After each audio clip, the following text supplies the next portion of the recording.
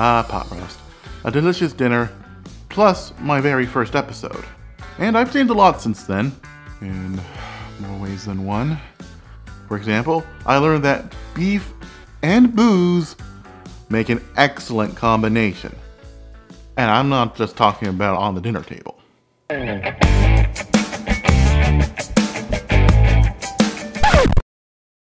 Well, this was unexpected. The store I went to, instead of having one big piece of beef chuck, gave me two slices of it. It, it looked like this in the packaging, but it turns out they're two incredibly thin pieces. This is not necessarily a bad thing. In fact, they might be able to cook quicker. Just uh, make sure you really inspect your beef chuck before you buy it. The rains down in Africa. So you're gonna need about uh, roughly three pounds of beef chuck for this recipe. But listen, white wine can only go so far if you don't season it. So let's season it with salt and pepper.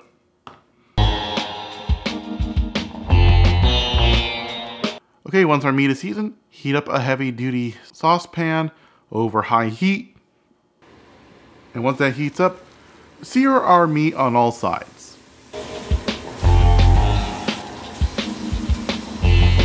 And normally that'd be it, but there's more.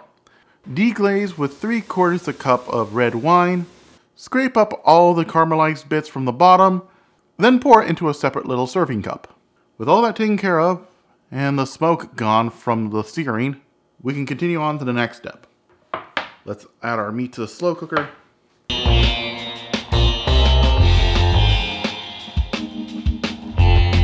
And why the hell not, all the juices.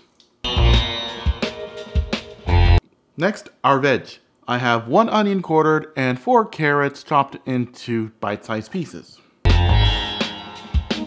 Then let's add two sprigs of rosemary,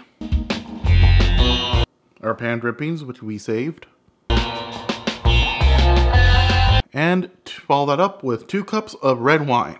It doesn't have to be super expensive, you know, $7 minimum.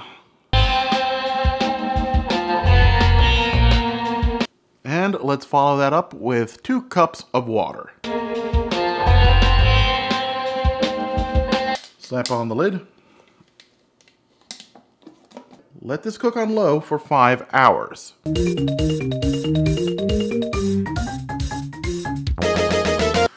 Okay, after five hours, our pot roast is done. You can tell because it just pulls apart easily. So let's transfer it to a plate. And uh, why not? Let's grab some carrots. All right, let's shred everything up. Doesn't have to be like pulled pork, but just, you know, shredded enough. Now, normally this is where I'd end the video because pasta roast's cooked. Just grab a fork and dig in. We're not done yet. We're gonna make a gravy from the drippings. All right, so let's pour our drippings in.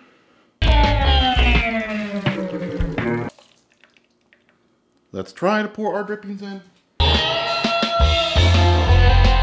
All right, next up, the stove. So let's add one stick of unsalted butter, melt it down. Once the butter is melted, add half a cup of flour, mix it and form a roux. Then slowly add our beef stock to the roux. Make sure you stir to avoid any clumps. Bring it to a boil to thicken it up, and once it thickens up, some salt, some pepper, garlic powder, and because I can, some MSG. Pour that gravy on top of your pot roast and dig right in. Why did I choose to do a voiceover for the gravy segment instead of filming it the way I usually would? Because it's 9 o'clock at night. I'm tired. I have to go to bed early for work tomorrow. You want to help out? Support me on Patreon. Link in the description. This has been Chase Cuttin' Kitchen. I'm CRJ, making cooking fun. And meaning it this time. Thanks for watching. If you liked the video, smash the like button. If you really like the video, become a subscriber and hit the bell notification icon. I upload every Thursday. Don't forget to follow me on Twitter, Instagram, TikTok, and support me on Patreon. And uh, by the way, I purposely did not include any footage from my pot roast episode. Watch it and you'll understand why.